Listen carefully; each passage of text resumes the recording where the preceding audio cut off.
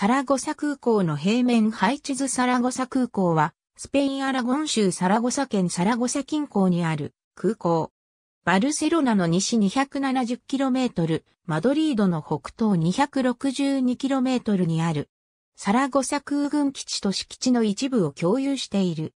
商業空港としての機能に加えて、スペイン空軍第15航空団の本拠地でもあり、またスペースシャトルの緊急時着陸地点として、アメリカ航空宇宙局にも使用される。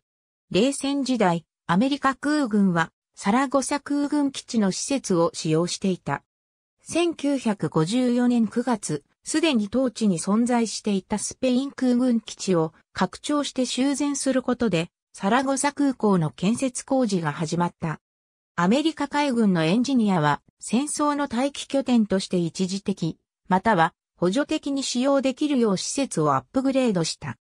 アメリカによる最初の建設計画は、既存の3024メートルの滑走路を増強し、さらに両端に304メートルの補助滑走路を備えた3718メートル61メートルの滑走路を新設するというものだった。12R、30リットルのコンクリート舗装作業は、1956年に開始されて1958年に終了した。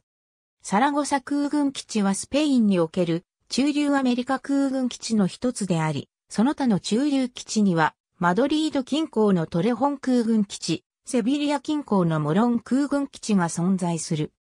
サラゴサ空軍基地には長い滑走路があり、また天候が安定していたため、最低でも2280メートルを必要とするアメリカ航空宇宙局のスペースシャトル打ち上げ場所に選ばれた。